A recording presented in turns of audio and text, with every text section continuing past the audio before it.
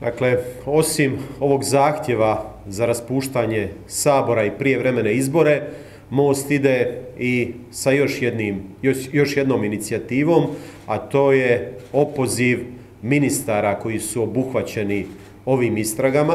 Dakle, u četvrtak smo sazvali cjelokupnu oporbu na sastanak, jer idemo u opoziv tri vladina dužnosnika, podpredsjednika vlade Borisa Miloševića, koji je po teškim optužbama da je mimo kriterija propisanih natječajem namještao dakle određenim obrtima, tvrtkama i pogodovao im da dobiju određena sredstva i to preko ministarstva ministra Horvata, tadašnjeg ministarstva gospodarstva. Isto tako idemo u opoziv ministra Ćorića kojeg njegov pomoćnik tereti da je on zapravo bio ključna osoba u ovoj aferi vjetroelektrane.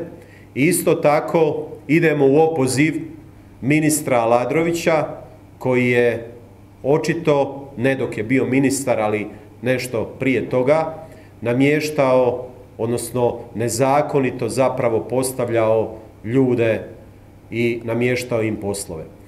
To su dakle naše aktivnosti koje planiramo uz ovo raspuštanje Sabora i evo pozivamo cjelokupnu opoziciju i cjelokupnu oporbu da podrži te naše inicijative. Hvala.